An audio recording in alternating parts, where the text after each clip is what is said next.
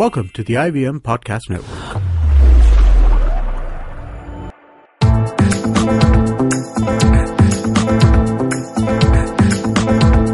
You're listening to the Paodcast, presented by the Daily Pao.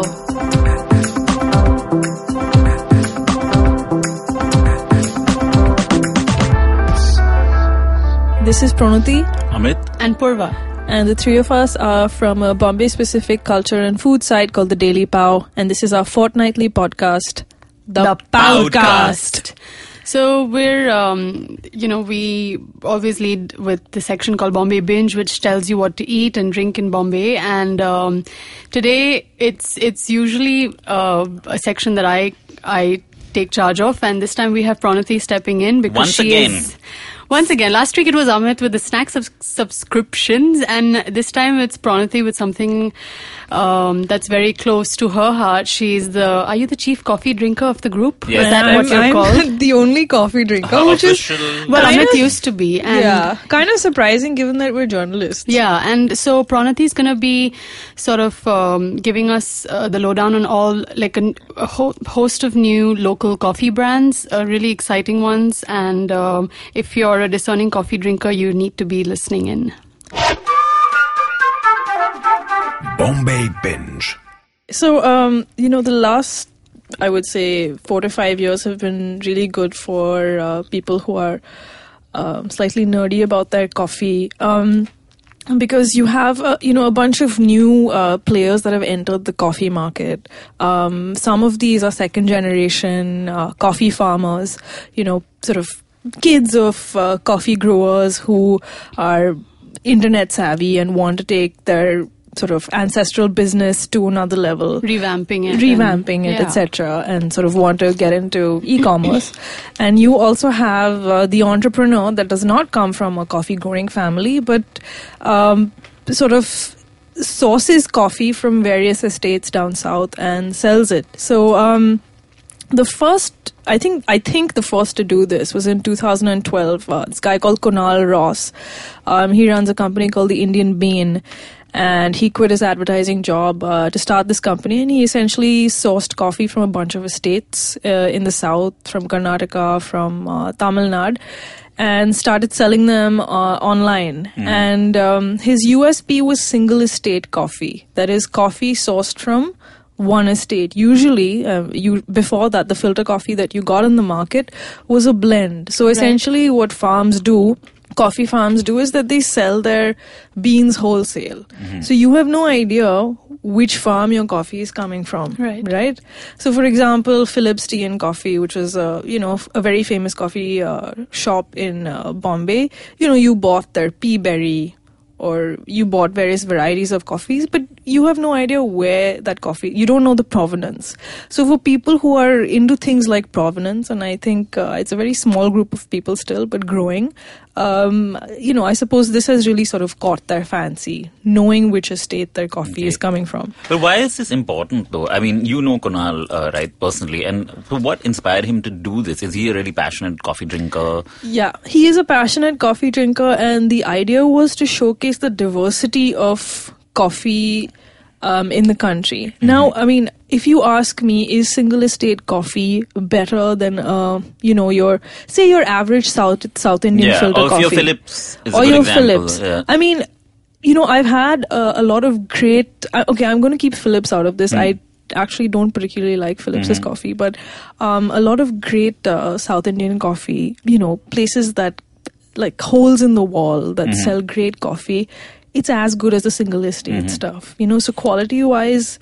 This is in the south, you're saying? This is yeah in the south, or you mm-hmm. know even like the stuff you get at Matunga, for example. yeah. Of course, it compares to your single estate mm-hmm. stuff. It's equally good. But what's important is that um, you know about the coffee. We we know more about the coffee growing culture in the south. Also, they can control the way Coffee is roasted. roasted and that affects the taste ultimately. Yeah, it has a it has a huge uh, part to play in the taste. So, Right. for example, Blue Tokai, which uh, started three years ago, In they're a- Delhi. in Delhi, they're a Delhi-based uh, coffee company. Again, they do single estate coffees, and uh, they have their own roasting machine. So they uh, they control how the coffee is roasted. I mean, there are various kinds of roasts, various grades, and Right. the roast has an uh, impact on the flavor. Yeah. The Indian bean Yeah. gets coffee roasted in sort of various roasteries in the south, but again, they have a say in how it's roasted. Uh, there's a very new company these guys started uh, last year. It's called Black Baza Coffee. Uh, started by someone for whom um, the coffee is important, yes, but it's also it's more important how the coffee is grown. So she sort of focuses. Her name is Arshia Bose, and um, she sort of her focus is shade grown coffee cultivation and growing coffee in uh, sort of biodiverse areas. Right. It's So a very interesting name, Black Baza. Black Baza, yeah. So It's- it's Black Baza. It's been named after a bird. That's it's a small uh, bird of prey, and it's found in dense forests. So basically, if if you spot a black baza, you know that that forest has a lot of tree cover. Oh, nice. And in fact, all black baza coffees are named after flora and fauna that are good ecological indicators. So it's not necessarily a Black Baza, so it could be something else, but by the same by Arshia, or is it? So Black under the Bazaar is the Bazaar- name of the coffee brand? company, Okay. and you also have a coffee called Black Baza, and you have other Which is the one you tried, the Black which is which is, which is the one I Right. tried. But uh, the one that I recommended in in this post that we did last week uh, was the whistling schoolboy. Right. Yeah, It's also a bird, I think, right? yeah, it, it is a bird. Yeah. But so. So yeah, so for um, so uh, people sort of have different uh, motives. Like Mm-hmm. Bose's motive is really more uh, ecological conservation, Mm-hmm. and I mean coffee is an important part, but that's her primary. Uh, this you know, this idea of shade grown, is that something that is basically coffee that's grown in a sh- sort of shaded, specific shaded area is Yeah, in the shade of trees. Is, is better. Right. Uh, I mean, because I mean, coffee needs shade, Mm-hmm. and the whole idea is to have uh, multiple species of trees, Mm-hmm. so that you have, uh, you know, you maintain biodiversity and not just a single species of trees. Mm-hmm. Yeah. And so this also has an, uh, you know, an impact on the flora and fauna, and also the trees are important because they should be Mm-hmm. So native basically, varieties. it's a form of sustainable cultivation. Exactly. Sort of- exactly. Um, but um, so aside from the Indian bean and black baza and uh, blue tokai, You haven't spoken about my favorite name, Halli. Halli Berri. Holly berry. Yeah, I knew it. so Ahmed. a berry um uh, so it, it comes from a farm in uh, Chikmagalur in Karnataka, and these guys are traditional coffee growers. So they've been growing coffee since the 1940s. They have this beautiful estate, uh, which they've converted into uh, a lodge type thing. So you can rent out these bungalows, Okay. and they were selling their coffee wholesale. And a couple of years ago, they started they packaging it as Halli Berri. Now, Halli is Kannada for village Okay. berry, coffee berry, and of course the pun is you know is Halle Berry. so it's run by this woman and her three daughters, and all of them are astonishingly beautiful. I have to say, It's like- Facebook stalking. you know, Yeah. I you know when I was researching the piece, I I looked them up, and they're all like they're model beautiful. These Halle Berry so women. The, so the they name, they coffee? chose the name appropriately. and yeah, they did change. Uh, you know, they could give Halle Berry a run for her for her money. But it's great that, you know, like a wholesale supplier is actually uh, getting into their own niche sort of labels. I Right. think that's really yeah, I mean, this is sort of newer, to. younger generation. So, Yeah. uh, you know, I found a whole bunch of other coffee companies. So there's something called Riverside, which is based in Coorg, and these guys started this year. And um, uh, this it's run by this chap called Rishwin Devaiah, and again, ancestral coffee estate, uh, but started selling coffee online only this year. Um, then Seven Beans is another new company. It's based out of Chikmagalur in Karnataka. Again, uh, one of the partners, I mean, the partners, I think they're brothers, Shetty brothers, they own the estate, but they started selling online only in 2015. Um, then there's the Flying Squirrel. Uh, they started in 2013. And again, one of the partners is uh, a Coorgi and has an estate. And there's uh, a place called Estate Craft, which is also in Coorg, which So- does. So coffee. just like in terms of availability, are all these sort of readily available? Like you, you like how was your discovery? Besides the one that have their own online stores, like an Indian Bean and a Blue Tokai, which have their own stores, correct? Yeah, so these guys are pretty so strong on social media, which is how You got to know, know we we found them. Right. And the others, like I, I found one called Barbara Berry. Uh, Barbara Berry is uh, produced by this very old coffee plantation called MG Plantations, and I found this at Food Hall. Food Hall Mm-hmm. in Palladium actually has an incredible range of coffee. You, in fact, Barbara Berry is something you said that also supplying to Blue Tokai, if yeah. I'm not so. Blue Tokai um, essentially sources coffees from various estates. So they source uh, the Barbara berry, but um, the the two are likely to be very different. Like the one sold by Blue Tokai and the one sold by the plantation itself online, because the roasts are Different, different. right. So And you also get these coffees uh, in a lot of restaurants and cafes in the city, right? Because you are now like earlier, you would basically be ordered a coffee, you'd get Nescafe. Right. But a lot of like newer No, establishments. or you would get you would get filter coffee. like Gaylord, for example, Okay. has that Kona coffee, but it's Okay. it's awful. Okay. you know because it's uh, it's brewed badly and it's probably rubbish coffee. But like Blue Tokai and uh, Indian Bean are in a bunch of places, right? I mean, That's like right. Kala Ghoda Are- are- Cafe and Yeah. The 15 and Love Love 15. 15 and- are, are restaurants advertising the fact that they are?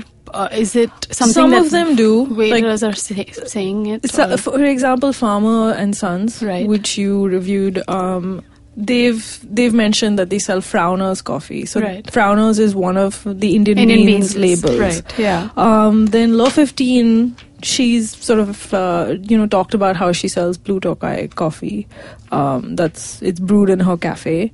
Um, then Kala Ghoda Cafe doesn't advertise it, yeah. but uh, they sell Indian bean coffee. You know what's interesting, Pranti? I mean, there are so many brands, but you've tried them all, and you are sort of a, you know, a drinker. But do you think that there is sort of, I mean, there is a market for so many of them, or is it something that you think, is I it think- a trend that you think will continue and more yeah, I think will? so. I think so. I mean, there are already so many players, and it's astonishing that there are so many. And I mean, I really wonder um, how successful they are, and they will be. Especially the guys who don't come from uh, coffee farming families, because I'm I'm guessing that while it, there is it is a growing clientele, it's still uh, very small right now. So it's a tough business to be in. Yeah, But- because right now there must be like niche batches of these Yeah. coffees. But Right. Like, yeah, but like you're saying, for the guys who already have plantations, it doesn't really make too much of a difference. They're just sort Because of, it's you a know, subsidiary expand, business. Yeah, Yeah, right. expanding but their they know business. that they know that this is a direction that they have to move in they have to go online um, you know just to be relevant um, and But, also you know, so how much of this is um, the sort of roasting of the beans and stuff like that? Because you're, you know, you be, you're sourcing from like, like you mentioned, somebody like uh, Blue Tokai who's taking stuff from different places. It's their skill in how they sort of so essentially what they do is they buy the beans. Right. And then they get them roasted. Yeah. so blue tokai has its own um, roasting machine and it has in fact in delhi it has in Saidulajab in delhi they have a little coffee shop and a roastery. Hmm. So the beans are roasted there twice a week. Okay. So they have full control over how it's roasted, which is very important hmm. because uh, the flavor is impacted by the roast. Mm-hmm. Um, but other guys who don't have their own roasting machines because it's an expensive piece of equipment, they get it done. You can sort of rent uh, a machine in a roastery, Yeah. and so the Indian Bean gets it done in Mysore, in this place called Sagar in Karnataka, Okay. and in a couple of other places. In fact, the the blue tokai we know is s- sort of going to come is coming to Bombay with its roastery as well. We don't know Yeah. when exactly, but it should be soon. Yeah. So that's That's right. So I mean, uh, In Lower Parel. Exactly. Yeah. So I'm guessing since it's called the roastery, there'll be roasting beans Yeah. over, Yeah. over there as well. And you know, you mentioned in your review of this, I mean, you can go over to our site and look at this, uh, where you mentioned that if you brewed the coffee in different, uh, like if you if you brewed it in a moka pot, for instance, it tasted different from if you, uh, you know, Right. So I mean, I uh, what I did is I tried uh, not for all of them, but for most of them, I brewed them in three different ways. Like I, I brewed uh, them in a French press, uh, in a moka pot. Uh, but uh, but of course, you know, you have different grinds for each. But but whatever. I just wanted to see how the flavors varied, and also, uh, which is my favorite brewing technique, I cold brewed them. So um, just to see sort of how the flavors varied, and and some of them tasted better one way than In the fact, other. In fact, there are cold brewing bra- brands entering now. Yeah, so you there know, are a couple. I think uh, I forget what they call. it. I think you know. um, uh, they- I know one that's unbranded. A friend of mine, uh, Anish Bhasin, is actually working on it. Um, then there is something called. They just call themselves cold brewed coffee for now because it hasn't yet Right. sort of completely marketed itself. Right. But how would you sort of? I don't really understand cold brewing, so how would you sort of pre-sell that? It's it's very simple. It's essentially coffee that's brewed at um, room temperature water for Oh, between okay. 12 hours and 24 hours. And you can do this at home. I mean, I do it at home. I just put coffee in a jar and I top it up with water and I leave it for 24 hours. okay. And what it does is the Does it sort take of the edge off? It takes the bit? edge off, so it's Okay. not as acidic. Because if you're pouring hot water, you're sort of forcing the flavor and the oils out immediately. This happens over a period of 24 hours, so it's gentler, but the flavor is far far better. Okay. Yeah. So even uh, rubbish coffee, um, it you can drink it if you Cold cold, brew brew, it. it. Yeah. So we've established that these are niche brands and they're selling small quantities. I'm guessing that would affect the price, right? Is this more than your store bought? This is obviously more than your store bought, mass produced Nescafe. Nestle. No, no, definitely, it definitely is. So I mean, on an average, um, Coffee for hipsters, once Yeah. again. On an average, I, I think the price is uh, 250 upwards, like 250 For 200 for grams. 200 grams. Right. Okay. Uh, that's that's how much it. And how usually long would that last you? Uh, just depends on how much Frequency coffee you, you you drink. drink. Right, okay. But it'll last you for a good number of days. Okay. Yeah. Yeah, so that's that's great. Um, a lot about coffee there. We have all the details about where you can buy them, what they taste like, what they cost uh, on the site. Um, uh, check out Pronoti's article, and that's it for Bombay Binge. We'll be back with the scene. Long, long ago, not in Bethlehem, but in a place nearby, there was a wonderful birth of a huge show, which I like to call Cyrus Says. A show that encapsulates everything in human history, from the first Homo sapien to the last Homo sapien. Uh, who's traversed the entire world and then come back to India. This is a show which tells you everything about everything. If you want to know, avoid Google, come to us. It's called Cyrus Says. Get new episodes every Monday on the IVM podcast app or wherever you get your podcasts on. You get one banana water free with every podcast. Right. I'll just check that. I'll just check that.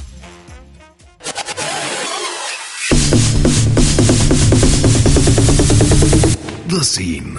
Uh, so, welcome to the scene, and in this episode, we'll be speaking to two Bombay artists, Sameer Kulavoor and Z Kulavoor. Uh, the two of them run Bombay Duck Designs, and so they're going to be t- talking to us about uh, drawing the city.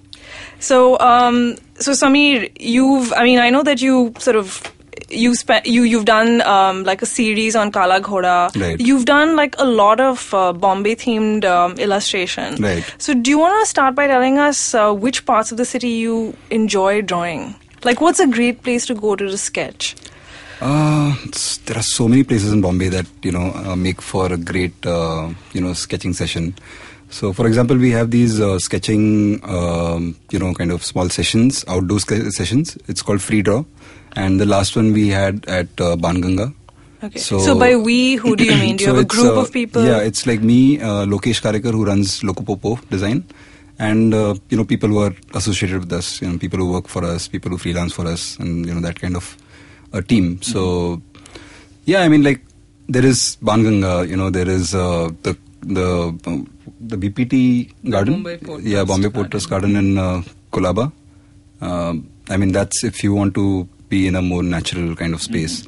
Then, of course, there are you know tons of cafes, and you know you have all kinds of. Uh, Right. But wait, Yeah. the Bombay Port Trust Garden. Um, what exactly do you sketch? I mean, I mean, I've seen the garden. It's a lovely garden, but Right. like Banganga, it, there's a lot of life. There's a lot of activity. Right, right. What would you sketch at BPT? and BPT, the I mean, landscape. yeah, or- the landscape, and you know even like small things like um, uh, it has a small botanical uh, you know garden within, so that you know it opens up a lot of different shapes uh, for you. I mean, a lot of different. They have a uh, collection of cacti. cacti amazing you know and then even just leaves or the way plants are um, i mean anything that you know kind of kind of like catches our fancy Yeah, and I saw your recent exhibition, uh, which was Please Have a Seat Hmm. Right. at Artisans. Right. And, um, you know, there was a bunch of things there. Like you had uh, uh, an illustration of looking at it, like some people playing cricket at, where was that? Was that at um, one of the Maidans? uh, no the the cricket one was actually uh, the image of a clap so Oh, it yeah. was not directly connected yeah, to cricket but it was sort of inspired by looking at Yeah, well, it was gully cricket. It was Oh, okay, it was just- so oh, okay. just like a bunch So of like kids. street uh, scenes. Yeah, street Yeah, scenes. yeah. Just a bunch of people, kids actually, who were Yeah, and uh, you know the city has featured so much in your work. I Right. mean, just to give people a background, uh, uh, you know, Sameer they they have done a whole bunch of stuff, and uh, they're actually most.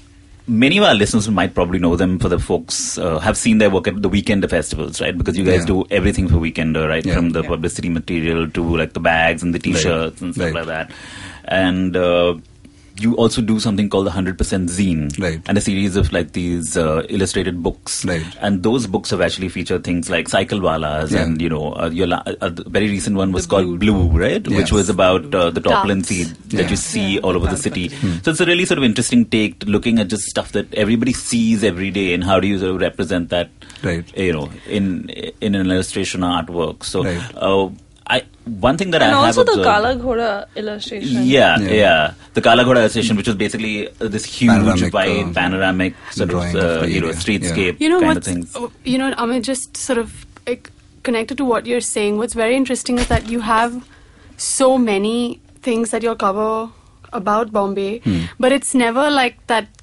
That chaos is somehow you you you're able to distill one particular thing, Hmm. and how does that? How do you do that? Like, how do you sort of get it down to one thing, like say the Right. cycle or a pair of hands or whatever? you know, that's I think is very interesting because there's so much going on in Bombay all the Right, time right. but you sort of communicate that with very little Right.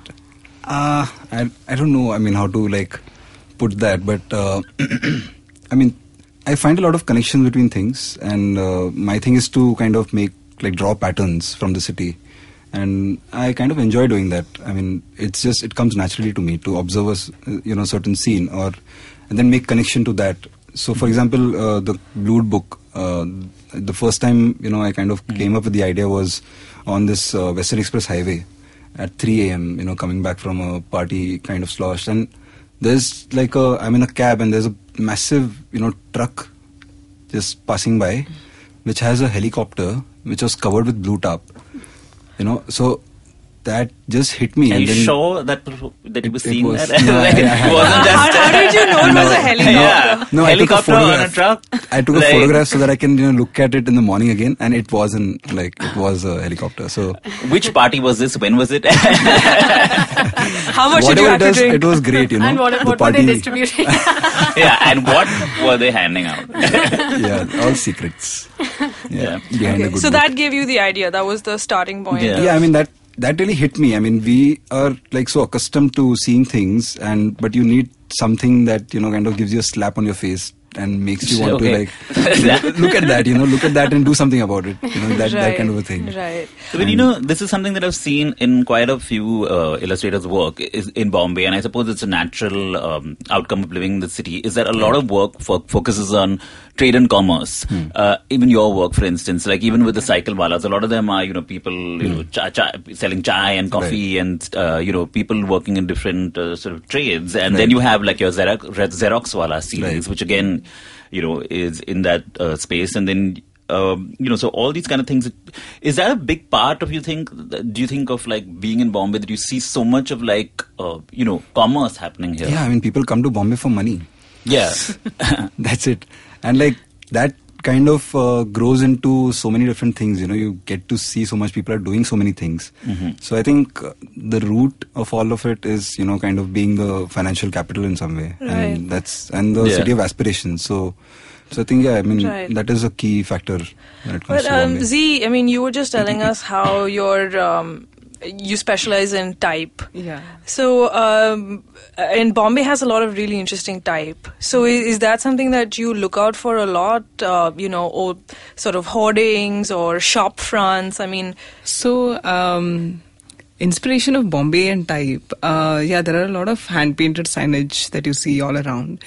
Um, my main inspiration comes from this Muhammad Ali Road area. Right. Which has so much going on. There's hand painted signage, there are like local posters, everything is so beautiful. But in that crowd, everything just gets lost. And then picking those, that type from there is what I'm, you know, I like. And I majorly work on Arabic type design.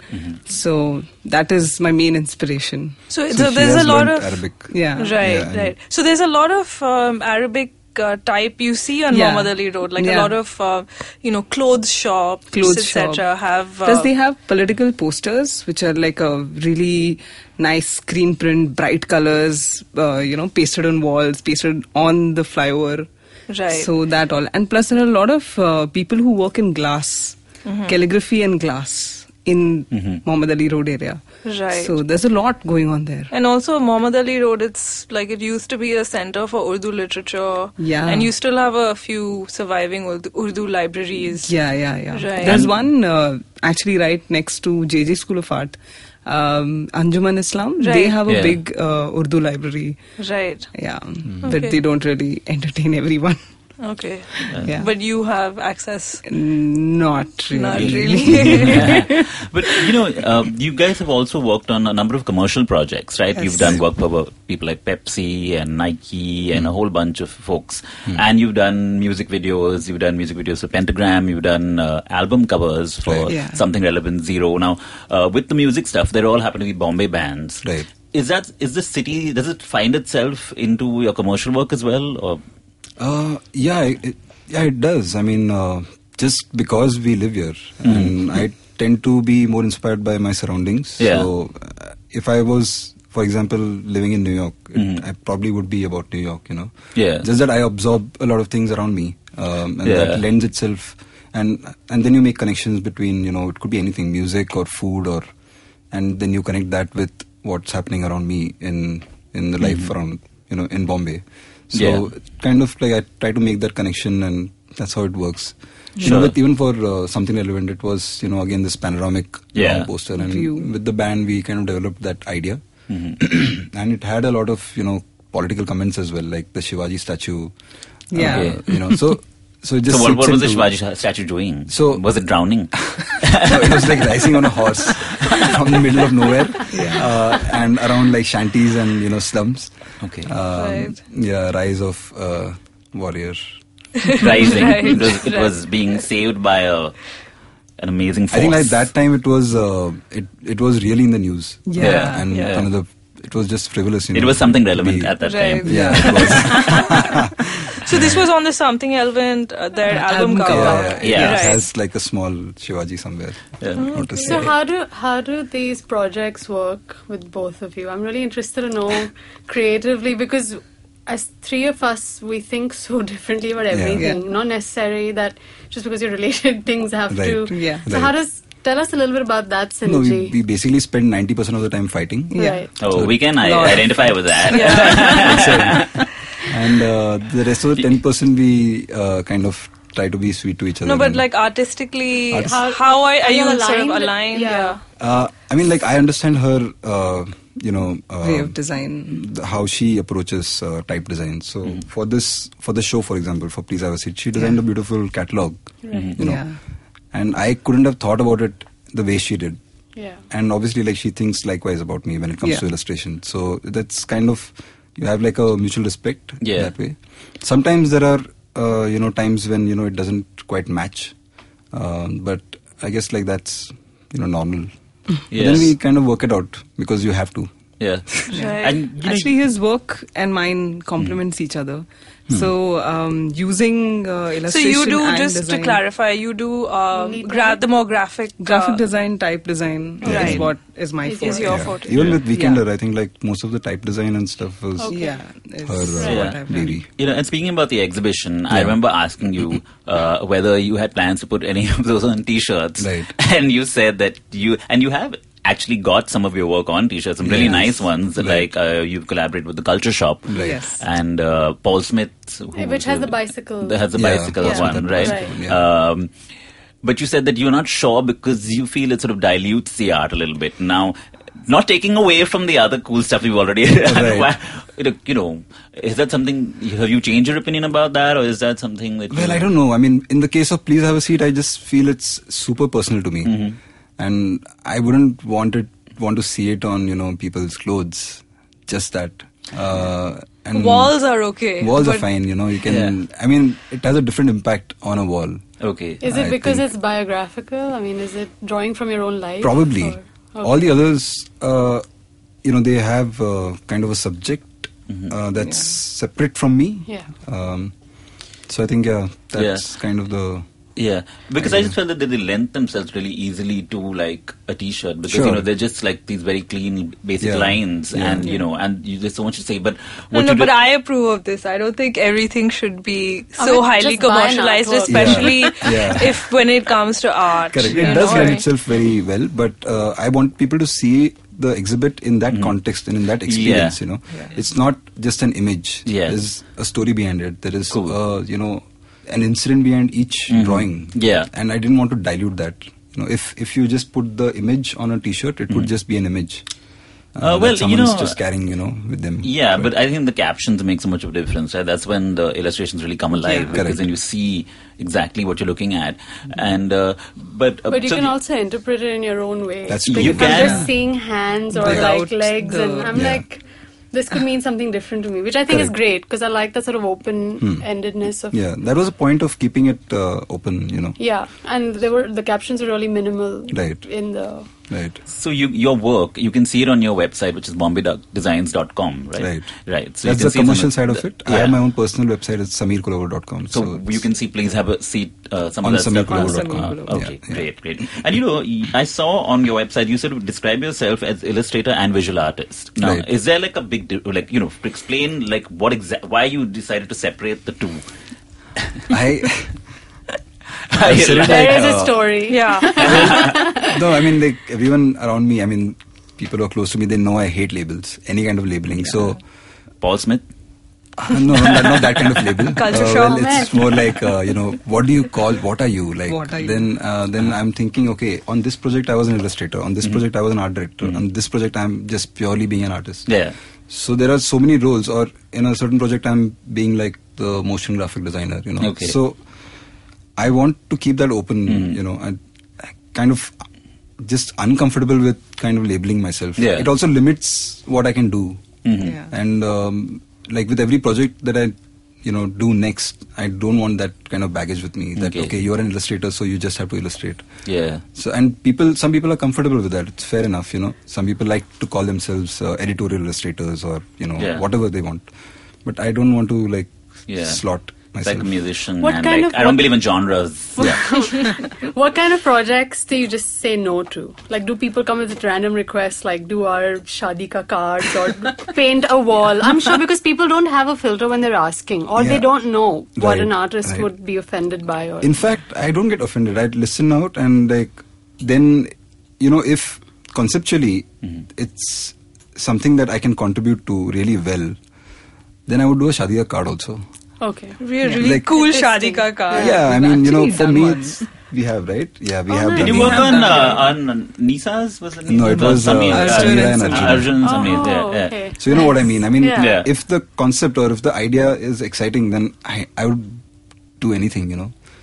Yeah. Uh, Right. then it's Okay. for me. Then it's not selling your soul or Yeah. you know Yeah. whatever you call it. Yeah. I mean, if I'm interested, then Yeah. I'm fine with it. You Yeah, know. but there were also friends of yours, right? So it too. was not like somebody random coming. Yeah, and it had a music angle to it. Yeah. uh, you know Yeah, the whole yeah. Lollapalooza. yeah, yeah. spoof, For people so- who uh, who have obviously not attended this wedding, this is Arjun Ravi and Right. uh, Samira Samira Kanwar Kanwar, yeah. from uh, NH7. Their wedding was a music festival theme thing. Right. Okay, last question before we almost run out of time is: Okay. Do you have? Is there like what is your definition of Bombay design? I know it's a kind of like abstract question, but Yeah, like For like, someone who this is like doesn't uh, like really- labels, Labels, you're asking him But to I label. That's the other Bombay thing, you know, like uh, no, that's the other thing. Even uh, during the exhibit, everyone was like, you know, it's, it's so Bombay, it's so Bombay, and Yeah. I couldn't get it. You Yeah. know, like what's Bombay about human gestures? Isn't isn't it like, you know, universal? I just saw limbs. That's what I noticed. yeah, no, but I mean, it's um, interesting that people kind of see me like that, Yeah. uh, and uh, probably because I've been, you know, rooted in the city for so long. yeah. But Bombay design, I don't know what that means. Yeah. Ah, okay. It's completely I mean, there's It's not something that we can. It's everything Put and in nothing. words. No, you can't. what? Yeah, yeah. You can't. Okay. Yeah. Next question, Amit. Well, so it's time to wrap up. Okay. And so we'll be back with uh, Metro Station. And you'll be back in Metro Station too. All right. Okay. See you. Hi, I'm Amit Varma, the host of the weekly podcast The Seen and the Unseen. In my show, I examine the seen effects and the unintended consequences of public policy and private action. I show how policies meant to help the poor often end up hurting the poor. I've done episodes so far on demonetization, GST, surgical strikes, immigration, and MRP, and I will continue my forensic assault on the truth in the weeks to come. Catch the show every Monday on the IVM Podcast app or any other podcasting app that you prefer. Or visit seenunseen.in for all the latest updates. Metro Station. Welcome to Metro Station, and today we're going to be talking about Mazgaon. Now, Mazgaon is a place that has been around for ever, but it's kind of like It's a this. place in Bombay. I mean, don't make it sound like it belongs to some other country. but But it was originally like one of the seven islands. So one Seven, island was yes. So- and by the way, our guests from the scene, Sameer and Z Kulavoor, are back yeah, I was uh, coming to that in this section. They work out of there. Their studio is there, and uh, Samir actually lived there for a few years. Yeah. Um, so yeah, basically we're going to talk about. This is not Secret City. We're not calling the Secret City our other segment. Yeah, because Mazgaon is not exactly It's not secret, exactly a uh, secret. but it's also um, one part of the city that, I mean, I don't want to say has resisted change, but it a large parts of Mazgaon look the way they have looked for many years, and so so, so the there's a slow. Change has been creeping. It hasn't been uh, sort of. It hasn't Hasn't been low bulldozed. Yeah, it hasn't been low yeah, and I think one of the reasons why it's also kind of this part of the city that nobody really talks about. I mean, it's been Right. you know. It's I mean, kind in the general imagination General of Bombay, it, it occupies a very small yeah, place. I mean, people talk about you know uh, like Andheri and like uh, For all the wrong reasons. Chembur and stuff like that, but you would never hear about Mazgaon. Moscow. But it's it's an absolutely fascinating uh, part of the city, and it's full of uh, these amazing sites. Like you guys, your studio is near Hasnabad, Right. and Hasnabad is the mausoleum of the first Aga Khan. He was the leader of the Ismaili sect of Shias, and it's this place is known as Mazgaon's Taj Mahal because it has these three domes Yeah. and Yeah. two minarets. Yeah. So I mean, that's quite an amazing uh, place to work. Yeah, I mean, you- is. you're like your neighbors essentially. Right. So, I mean, do you guys, you know, when you want some inspiration, do you walk around or do you visit that place Well, at all? It was an accident when I first saw Hasnabad. I mean, I didn't even know for about three, four months after moving in to Right. Mazgaon that that existed. Right. And like once I was taking a taxi ride and just happened to see this Taj Mahal in Mazgaon, you know, and like I was rubbing my eyes. You know, yeah, what was this? Because it's uh, and it's it's this beautiful marble structure It is, and yeah. it's clean. It's really well white. maintained. Yeah. It's breezy. Yeah, it's white. Yeah, it's white for a change. Yeah, and it's- it's not gotten It, It doesn't yeah, have red barn stains on it. no red No. pan No stains, no fungus Wow. stains, nothing. You know, And uh, you can, you know, if you want, you can just go and sit on the steps. I mean, I saw when I visited recently, I saw like lots of these school and college kids just Mm-hmm. sitting and just enjoying the breeze, Shooting breeze. shooting the breeze. yeah. and there's also a farm next There to it. is a farm it's- behind it, and this is the amazing thing. So Hmm. you just uh, you cross the mausoleum and you go straight, and it's in the same compound, and you Hmm. come across this beautiful farm that has probably been there for generations. long yeah, time, for a really long time, and uh, they grow vegetables over there. Nice. So um, You know, you guys said when we were talking uh, before we walked into the studio about how you discovered this place, and you said you discovered it through Mathar Pakadi, right? Uh, well, yeah, a broker. I mean, I was looking to move to this part of town, and Mm-hmm. because all my clients at that time were based around Lower Parel. And you didn't want to be in Lower Parel. um, I mean, I didn't mind that, but Okay. it was just too expensive at Uh-huh. that point. And Mazgaon was kind of like you know Like next door, out of it, yeah. but still very close. Mhm. And uh, I just discovered it through a broker, and I didn't even know that you know this place existed. You know, Mhm. the village existed. Yeah. I had no idea. I'd been living in Bombay for like what, know, 25, 26 years at that Mhm. time. And I didn't know All your life, Yeah, I essentially, mean at that time when, Yeah, when I just yeah, yeah. Uh, moved into Mazgaon, and I didn't know. So when Where I did you saw move it, from? From Borivali. Okay. So I've spent my, I mean, me and Zeenat, we both have spent our childhood in Borivali, and Yeah. and then went to Sydenham, and then JJ, and then Yeah, Yeah. so so Matar Pakadi is this uh, for those of you who haven't been there. It's this beautiful East Indian settlement, and the name roughly translated, I think it means a cluster of huts, um, and it's got these gorgeous, quaint villas. Hmm. Um, and it's really like this little hamlet. Like it surprises you. Hmm. It's you ki- just isn't it kind of like like Ranwar and Bandra or something like that, which is like got Pali village. Pa- Pali village. Sort of like- yeah. minus the commercialization. commercialization. Yeah. It's got all And these few minus sort the of it's it's minus the hipsters. minus hipsters yeah. is so important. so important, guys. You have raised Stop a hating on Ranwar. Uh, below but, but yeah, most of the I think the demographic it's it's an aging demographic. You see these old couples on the balconies, and it's really quite beautiful. And um, as you guys were saying, that the residents are very protective of the area, so they haven't let any builders in. Yeah, and you you were living in the only building Yeah. in Matar Pakadi, the and I've ugliest building in ugliest Mathur building. Pakadi, Yeah, I've seen it. It sticks Yeah. out like an eyesore. Yeah, it is. uh, but but what's really great is that uh, I mean redevelopment hasn't come to Hmm. I Mathar mean, Pakadi. it's been they've been trying, but the residents have been so resistant that we've actually been able to fend them off, which is quite incredible. Yeah. Um, and I've also tried to get it uh, declared a heritage precinct, and I, I think it Yeah. is a heritage uh, heritage precinct. Hmm. Um, so so that's one of the you know beautiful things about. you know, there seems to be such a cosmopolitan area, even though it's like such a, you know, uh, it's kind of cordoned off in a sense, it's, you know, uh, perceptually. But Hmm. uh, there's also a Chinese temple there, right? there is a Yeah, the Chinese. Have you guys been there? No, No, not we been there, yeah. heard a lot. So um, there's this part of Mazgaon. It's called uh, the Nawab Tank Road area, Right. and uh, you know you had a, a lot of Chinese settlers. You know, Yeah. people Yeah. who moved to Bombay, uh, who were shippies essentially, Right. and just settled down here. So a Yeah, lot because of because of, the dock. because of the docks, yeah. right?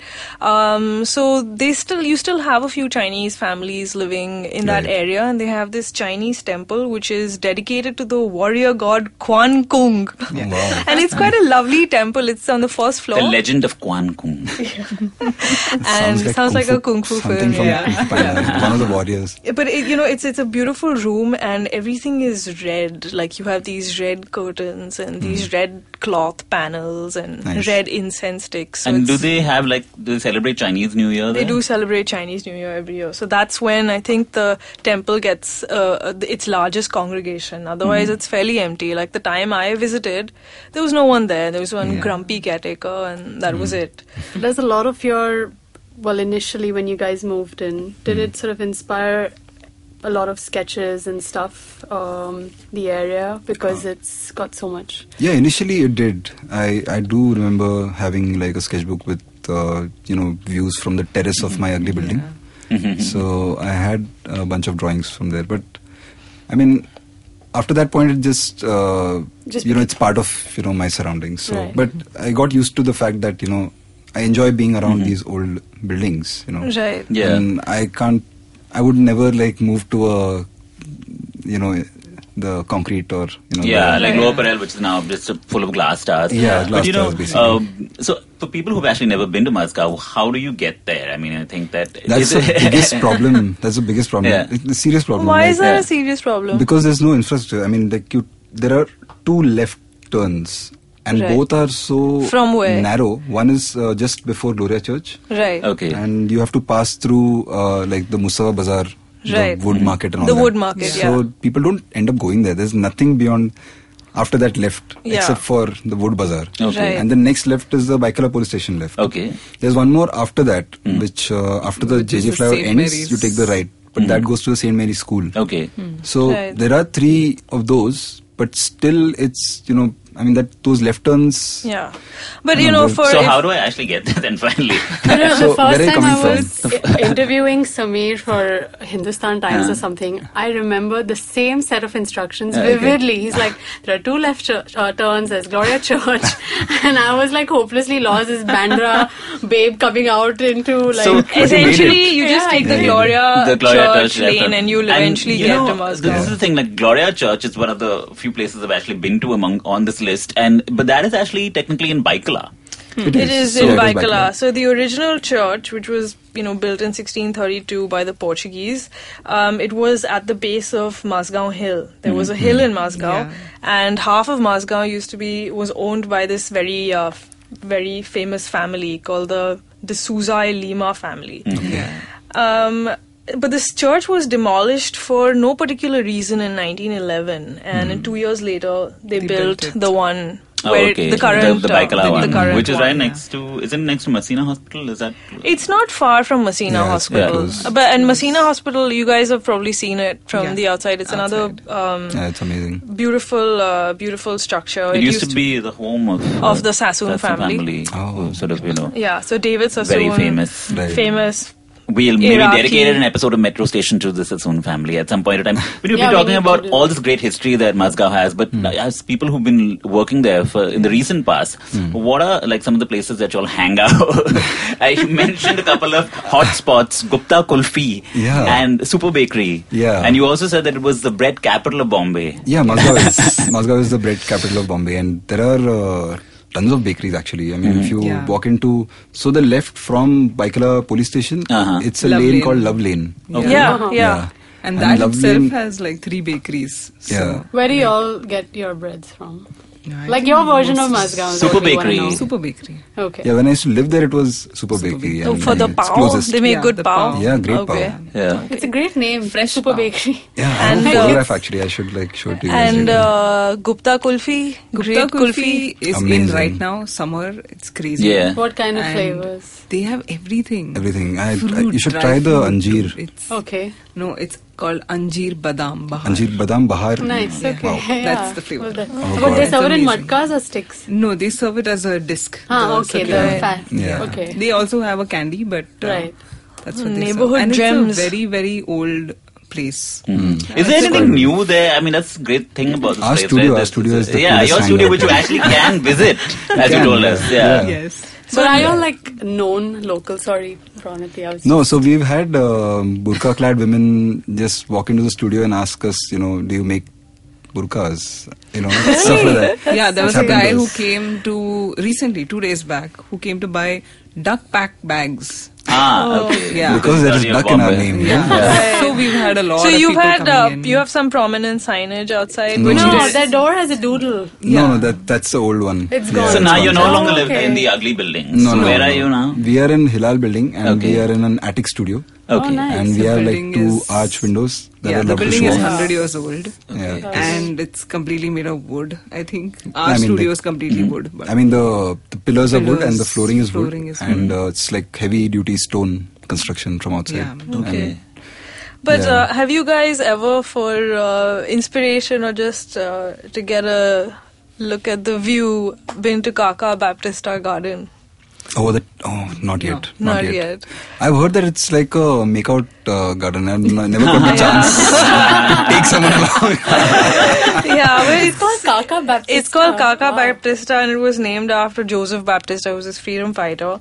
And so it's on a it's on an elevation. Yeah, it is. Okay, and so beneath the garden you have a reservoir. It's called the Bhandarwada Reservoir. So it's Oh. basically full It's of water. Mazgaon's bandstand. yeah, kind of. Kind of, but you, you know what? I, you have you get a great view. Yeah, I know. Of uh, the eastern side of the city. Correct, correct. So uh, when you're standing on top, and there's a little walking track, and yeah, Cool. it's full of couples. Ron, Yeah. tell us why you went actually. oh yeah. Yeah, that's actually how you discovered. Don't Mazgaon. start the issue. No, I mean, all of us, we've been writing about Bombay for so many years. So I suppose it was just on one of those. Yeah, but those. with Yes, whom? we One of With your, whom?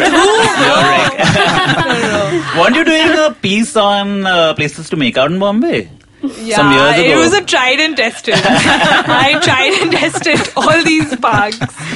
Uh, at the at, actually at the foot of the hill you have Dockyard Station. Yeah, And, so uh, Right. uh, when you talk about the view, there's a temple on top of the hill, Yeah, and there is, every time people get off the train, they get off, turn around, and start praying, and it's weird. When I first started coming here, I got off the train and I saw these two, three aunties like literally praying, and I was like, "What is happening?" I didn't know about the hill.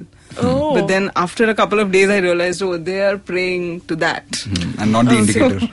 yeah, That's not not the the indicator. Indicator. But it, it's incredible that there's so many different kind of, you know, you have uh, Hasnabad, you have the temple, crazy. you have like the Chinese temple.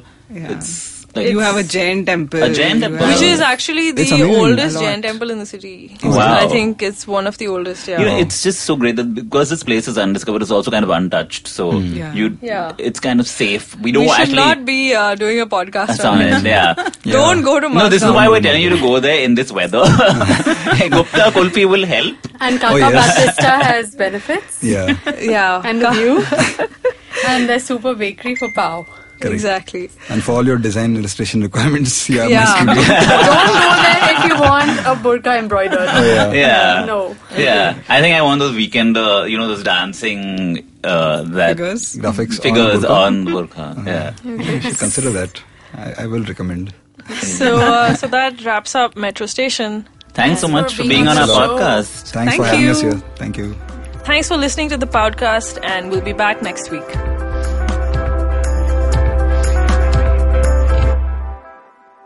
If you like listening to the podcast, check out Geek Fruit, hosted by Uber Geeks Tejas Menon and Jishnu Guha. This show talks about geek culture from an Indian perspective Star Wars, comic books, science fiction and fantasy, TV shows, and more. Excuse me भैया. Excuse मी बोलिए madam. Menu में क्या है? Menu में seen unseen है podcast है on course है Cyrus है mare in India rediscovery project empowering series sex wax है आईवीएम लाइक्स है सिंप्लीफाइड है कीपिंग इट क्लियर है ड्रिंक्स एंड डेस्टिनेशन है माय नेबर सकरबर्ग है और द फ़ैन गराज है. आपको क्या चाहिए? अ, एक बार रिपीट कर देंगे क्या? रिपीट रिपीट नहीं करता हम. आप जाओ आई पॉडकास्ट डॉट कॉम पे और सुनो ये सब. या फिर डाउनलोड करो उनका ऐप सब आपकी उंगलियों पे.